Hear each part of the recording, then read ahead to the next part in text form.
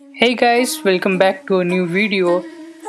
This video is going to be very short and in this video I'll be showing you the different settings that must be changed before booting macOS installer on your PC. So now without any further discussion, let's get into the BIOS. So here we are in the BIOS settings. Now first go to the save and exit tab and select load optimized defaults. Now let's make the changes. Go to the BIOS tab. Now here disable fast boot and if you have OS option then select other OS. I don't have so I don't have to do anything. Now go to the peripheral tab.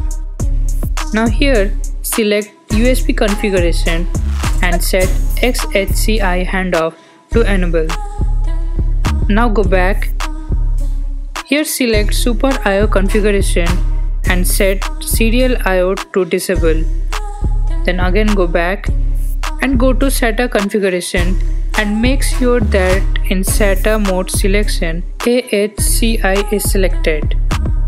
A small tip from my side if you have many hard drives connected, then you can disable all of them except the drive on which you are going to install the Mac OS to avoid any confusion while formatting the drives.